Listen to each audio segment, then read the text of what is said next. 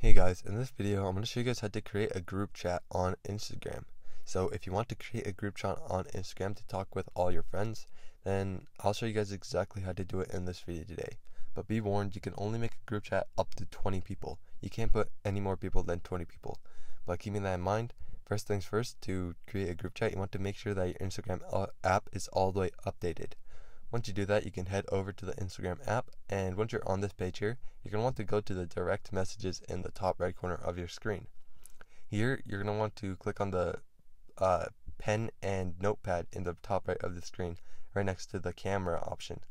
Once you click on that, it'll say new message, and here you just want to search for the people that you want to add to the group chat. It says add whoever you want. I'll add Hello Kitty and uh, some other people. Just keep in mind that if the person is on private or they turned off the, off the option to be added to uh, group chats, then you won't be able to add them.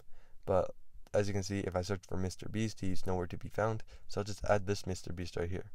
And once you do that, you're just going to want to click on create group chat at the bottom once you've added everybody that you want to add. Like I said before, you can only add up to 20 people.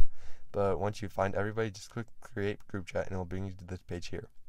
Depending on if you are following everybody and they are following you, then you should be able to text them. But if they aren't following you, then if they have private mode on or something like that, then you won't be able to send messages to them and it will just fail to send messages.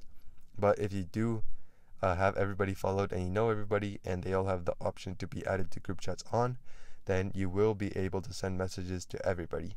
But that is how you create a group chat on Instagram. So it's pretty easy, like I said.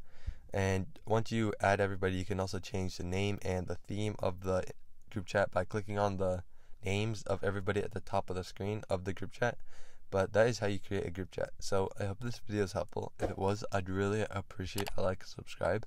Leave any questions you have in the comment section below. I'll do my best to answer them, and I'll see you guys next time.